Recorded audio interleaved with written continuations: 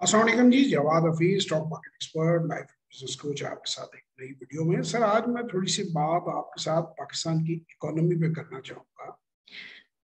मेरे एक बड़े अच्छे दोस्त हैं, उन्होंने मुझे टेलीफोन किया कुछ समझना चाह रहे थे और वो गवर्नमेंट के लिए कोई पॉलिसी बना रहे थे और उस पर डिस्कशन करना चाह रहे थे। और उसमें वो कुछ टैक्सेस की और ये बात कर रहे थे कि किस तरह हम आईएमएफ के चुंगल से आज़ाद हो सकते हैं, या हमारा पाकिस्तान का प्रॉब्लम क्या है। तो पाकिस्तान का प्रॉब्लम ये है, मुझे अक्सर लोगों ने भी रिक्वेस्ट की सोशल मीडिया पे कि आप इकोनॉमी पे थोड़ा सा हमें आउटलुक दें कि प्रॉब्लम क्या हो रही है। पाकिस्तान का सर सबसे बड़ा प्रॉब्लम हमारा एक्सटर्नल डेट है, जो कर्जा हम डॉलरों की मद में दूसरे ममालिक से लेते हैं। हमारी इम्पोर्ट्स ज़्यादा हैं और हमारी एक्सपोर्ट्स कम हैं। यानी पाकिस्तान के पास जो बाहर से पैसा आता है, वो दो फॉर्म में आता है, या तो रेमिटेंस की फॉर्म में आता है जो ओवरसीज़ पाकिस्तानी भेजते हैं, और यहाँ जो आप एक्सपोर्ट्स करते हैं, उससे जो पैसा है, वो आता है। ये पैसे का इनफ्लो है डॉलर्स का। और जो आउटफ्लो है, वो जो चीज़ें आप इम्पोर्ट करते हैं, इसमें जो समझदार मुल्क हैं, जो लोग तरक्की करना चाहते हैं, जो मुल्क परवाह करते हैं अपने सिटीजन्स की वो सेल्फिश इम्पोर्ट्स को और नेसेसरी जो इम्पोर्ट्स होती हैं, जो ज़रूरियात की इम्पोर्ट्स हैं, उन्हें अलग अलग कैटर करती हैं। मसलन हमारे मुल्क में टेम्परली अगर मेरे मेरे पास में हो तो मैं तमाम लग्जरी आइटम्स की इम्पोर्ट जो है, उसको बैन कर दूँ, रोक दूँ, या उसको किसी भी तरीके से ड्यूटी के ज़रिए उसको बैन लगाऊँ कि वो इम्पोर्ट ना हो। और जो नेसेसिटी इम्पोर्ट्स हैं, जैसे आपकी ऑयल आ जाती है, जैसे खाने का तेल आ जाता है, आपका ऑटोमोबाइल्स के लिए जो आपको पेट्रोल चाहिए होता है, ईंधन या अद्वियात हैं, या कोई ऐसी चीज़ें हैं जो आपकी लोकली नहीं बनती कंप्यूटर्स आ जाते हैं उसमें, और चीज़ें आ जाती हैं, उनको सिर्फ़ अलाउ करना चाहिए। जबकि हो इसके बरक्स रहा है लग्जरी गाड़ियाँ पाकिस्तान इम्पोर्ट कर रहा है, अगर आप सुपर मार्केट्स में जाएँ तो आपको इम्पोर्टेड जो है फ़ूड अननेसेसरी जो लग्जरी आइटम्स में आता है वो है। तो उसके नतीजे से जब आपकी आमदन कम है, जब इनफ्लो डॉलर का कम है और आउटफ्लो ज़्यादा है तो आपका जो, वो जो वो जो उसके दरमियान का गैप है, वो लोन लेके आपको पूरा करना पड़ता है और उसके लिए आपको लोगों की मेहनत करनी पड़ती है और बाहर के ममालिक से, और बाहर के ममालिक ये कहते हैं कि आप टैक्सेस लगाएँ। आप अपने मुल्क के अंदर जो अपनी अपनी जो इम्पोर्ट्स हैं उसे चेक करें, अपनी एक्सपोर्ट्स को बढ़ाएँ किसी तरह और लोकल अपनी आमदन जो है हुकूमत की, वो बढ़ाएँ। और लोकल लेवल के ऊपर जो है आपका आने वाले दिनों में आपके जो रिटायरमेंट का जो पेंशन का है, वो पूरी दुनिया में असलाहत हुई हैं, पाकिस्तान में वो असलाहत अभी तक नहीं हुई। और पेंशन का बर्डन बढ़ता जा रहा है ओवर स्टाफिंग है गवर्नमेंट अननेसेसरीली बहुत ज़्यादा लोगों को मुलाजमत दे रखी है गवर्नमेंट ने। उसकी वो गवर्नमेंट की मशीनरी बहुत बड़ी है। गवर्नमेंट सरकारी गाड़ियाँ बहुत ज़्यादा इस्तेमाल करती हैं। लग्जरी बड़े बड़े मकानात हैं बड़ी बड़ी बातें हैं। उसको आज तक गवर्नमेंटों ने कहा तो है लेकिन किसी ने भी उस पर अमल नहीं किया उन अखराज को कम नहीं किया। और अगर ऐसे ही चीज़ें चलती रहीं तो फिर खुदा न खास्ता कोई मतलब जो है वो बड़ा आ, मसला भी हो सकता है। और श्रीलंका की एग्जांपल आप लोग, अगर आप में से जो इकोनॉमी को नहीं समझते, वो गूगल पर जाकर अगर वीडियोस श्रीलंका की इकोनॉमी पे, श्रीलंका के डिफ़ॉल्ट पे या श्रीलंका की कहानी पे तो उसमें यही मेजर पॉइंट्स थे कि कुछ ख़ानदानों की हुकूमत थी, ख़ानदानी इजारादारी थी पॉलिटिक्स में। और इसी तरह जो इम्पोर्ट्स हैं, वो बहुत ज़्यादा थी एक्सपोर्ट्स उनकी कम थी एक्सटर्नल डेट जो बैरूनी कर्जे हैं, वो बहुत ज़्यादा थे।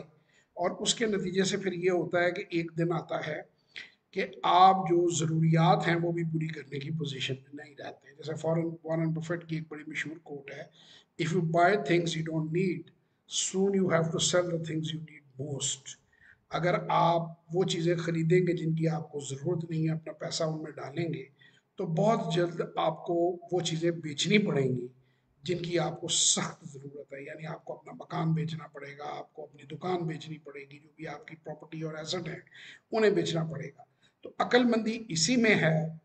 ये इकोनॉमी अपडेट वैसे एक मैंने शुरू किया एक नया एक, जो जिसे आप कह सकते हैं कि सीरीज़ है, कि उस पर मैं छोटे छोटे पॉइंट्स इकोनॉमी के भी यूथ के लिए और लोगों के लिए अपडेट कर दूँगा, क्योंकि मैंने पढ़ना होता है इस पर ये मेरे इंटरेस्ट से रिलेटेड है। तो इसलिए इस पर मैं अपडेट देता रहूँगा आपको। और थोड़ा सा स्टॉक मार्केट का इससे क्या रिलेशन बनता है, वो भी बताता रहूँगा। और अब बात आ जाती है स्टॉक मार्केट की और उसकी इन्वेस्टमेंट की। तो अक्सर लोग ये कहते हैं कि जी इकोनॉमी जो है वो अगर एक्सटर्नल डेट है या खुदा ना खास्ता डिफ़ॉल्ट है या वट्स एवर कुछ भी होता है देखिए ये 25 करोड़ का मुल्क है। यहाँ लोगों ने रहना है, यहाँ चीज़ों ने बनना है और लोगों की ज़रूरियात ज़िंदगी हैं। तो तमाम जो कंपनियाँ मुनाफा बख्श हैं, वो उनमें सरमायाकारी की सेंस बनती यहाँ तो ये हो ना कि आप लोगों के पास ऑप्शन हो कि आपको बैरून अमेरिका के या यूरोप के दरवाजे खुले हैं कि जी आप जहाज़ पकड़ें जो यहाँ पे सुकरात बुकरात लगे रहते हैं। और आप उधर अमेरिका चले जाएँ और आपने ऑप्शन लेनी हो कि आपने मकान यहाँ ख़रीदना है या सैन फ्रांसिस्को में ख़रीदना है तो फिर तो कुछ सोचने की बात है। जब जीना मरना यहीं में है, इसी मुल्क के अंदर है, इसी के हम शहरी हैं और हमने कोई बड़ी मेजर करप्शन भी नहीं की हुई और हमारे पास किसी और मुल्क की नेशनलिटी भी नहीं है और वहाँ पे जाने के कुछ चांसेस भी नहीं है। तो ज़ाहिर है कि यहीं जो मोस्ट प्रॉफिटेबल एसेट्स हैं, उनके अंदर हमने इन्वेस्ट करना है। मैं उन लोगों से पूछता हूँ कि क्या अगर वो समझते हैं कि सरमायाकारी कहीं की होगी, किसी प्रॉपर्टी में या किसी चीज़ में तो वो नीचे आ जाएगी। तो क्या कैश बैंक में पड़ा हुआ महफूज रह जाएगा सूरत में? जब डिफ़ॉल्ट होगा तो अल्लाह ना करे ऐसा हो तो सारी चीज़ें जो है मुतासर होंगी। तो इसलिए जो सरमायाकारी है, उसको समझदारी से किया जाए। यहाँ तो आप किसी और मुल्क के शहरी हैं आपने कहीं और चले जाना है तो फिर तो आपके पास ऑप्शन है कि चलो जी मैं यहाँ नहीं, मैं जापान में जाके टोक्यो में घर ले लेता हूँ और मैं बाहर किसी बैरून मुल्क कंपनी में इन्वेस्ट कर लेता हूँ। अच्छा दूसरी एक और लॉट है जिन्होंने तबाह मेरा ख्याल है इकोनॉमी को भी कर रहे हैं और यंगस्टर्स को भी कर रहे हैं और कौम को भी कर रहे हैं। एक क्रिप्टो क्रिप्टो का शोर मचाया हुआ है। और एक फॉरेक्स का शोर है। हर बंदा जो मुझे मिला है फॉरेक्स में, अपने पैसे सारे उसने लूज़ किए। हैं और ये नीचे, इसके नीचे भी आ जाएगा कि जी मैं दौरे जदीद में, मैं जी फॉरेक्स में बड़ा पैसा है और ये है और वो है। तो मैंने तो आज तक अपनी ज़िंदगी में कोई बंदा ऐसा नहीं देखा जिसने फॉरेक्स से को पैसे कमाए हों। पहली बात तो इससे मुल्क को बेतहाशा नुकसान हो रहा है। एक ऐप है जो धड़ाधड़ अग्रेसिव मार्केटिंग आ रही है, वो उसमें पाकिस्तानी भी बगैर सोचे समझे लोग जो हैं, वो उसको एडवर्टीजमेंट का हिस्सा बन रहे हैं कि जी फॉरेक्स में आप आ जाएँ। फॉरेक्स बिल्कुल गलत इन्वेस्टमेंट है। आपका डॉलर पाकिस्तान से बाहर जाएगा, आपका रुपया गिरेगा, वो डॉलर आपको कभी नहीं मिलेंगे, वो आप लॉस करके और अकाउंट नील हो जाएगा। और अभी तक अरबों डॉलर पाकिस्तानियों ने ज़ाया किए हैं क्रिप्टोज में और जो फॉरेक्स में तो मेरा सिर्फ़ और सिर्फ़ मैं एक मुहब वतन पाकिस्तानी होने के तहत और जितना मैं स्टूडेंट ऑफ़ जिसे आप कहते हैं फाइनेंस होने के तहत, आप लोगों को अपनी अपडेट्स देता रहता हूँ। मेरा मकसद कोई किसी से बहस करना नहीं है, अपने मुल्क में पैसा लगाएँ या आप मुल्क से चले जाएँ। अगर आपने हिजरत करनी है, आप शौक से जाएँ, लंदन जाएँ, अमेरिका जाएँ, वहाँ रहें, वहाँ इन्वेस्ट करें, फिर वहाँ रहें आप।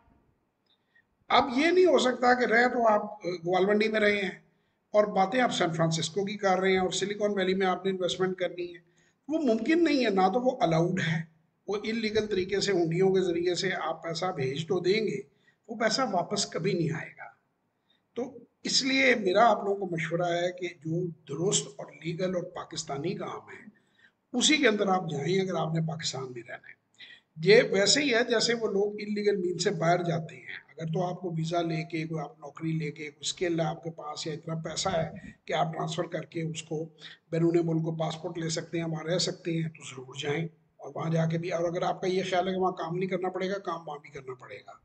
मैं तो बड़ी यंग एज से लोग माने या ना माने मुझे किसी को मनवाने की ज़रूरत नहीं है। मैं तेरह चौदह साल की उम्र से अगर चाहता तो मैं पाकिस्तान से जा सकता था, मैं उन मुल्कों में रह सकता था। लेकिन मुझे ये नज़र आया कि यहाँ तरक्की ज़्यादा है यहाँ आसान है रहना। इस वजह से मैंने यहाँ रहना किया। तो बहरहाल, इंशाल्लाह इकोनॉमी में अपडेट मिलती रहेगी। स्टॉक मार्केट में अच्छे शेयरों में ज़रूर इन्वेस्ट करें। और अगर आप सरमाकारी सीखना और समझना चाहते हैं zero three hundred nine four double six two zero और zero three three six four two four two three four six पे व्हाट्सएप वॉइस और टेक्स्ट मैसेज कीजिए। इंशाल्लाह किसी और वीडियो में आप लोगों से मुलाकात होगी। तब तक के लिए खुदा हाफिज़।